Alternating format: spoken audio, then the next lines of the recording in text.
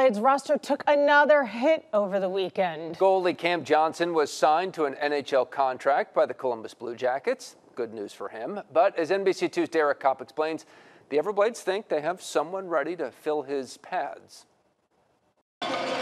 While on a bus from one game to another, Everblades goalie Cam Johnson got the call every hockey player dreams of. Columbus wants to sign you to an NHL deal. He's like, ah, this is like, he's like, this is madness. The stuff like this doesn't really happen a whole lot. But in moving up, he would be leaving a crease he's had so much success in already winning goalie of the week this season and having an eye on a Kelly Cup run. Man, I do not want to leave these guys. Like literally last year was our year and like now this is like this is our year. Instead, he's leaving the keys to this man.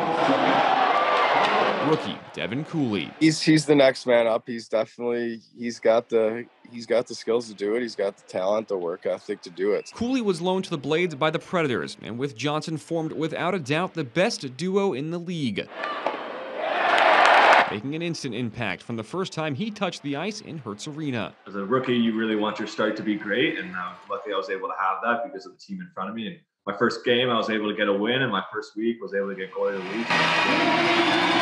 week. Looking like a seasoned pro on the outside, even if he was still a rookie on the inside. He played a game at Hertz. I think it was his first game he played Orlando, and I remember he just came to the bench just like smiling ear to ear, like, dude, this is awesome. You know, whether things are going good or bad, I, I try to keep a smile on my face. As the torch of great goalies in Southwest Florida gets passed, Johnson knows fans won't be disappointed. Cools has got it. He's got it under control, and I know those boys will, will have his back along the way for sure. And Cooley is up for the challenge. Yeah, I think we have a really great team this year, and I think we have a heck of a chance to do it. So, um, yeah, I'm, I'm, ready for it. The Everblades are back on the ice tomorrow night at home against Jacksonville. In Estero, Derek Kopp, NBC2.